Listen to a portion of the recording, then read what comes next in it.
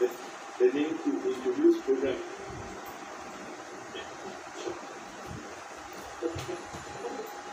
their skills,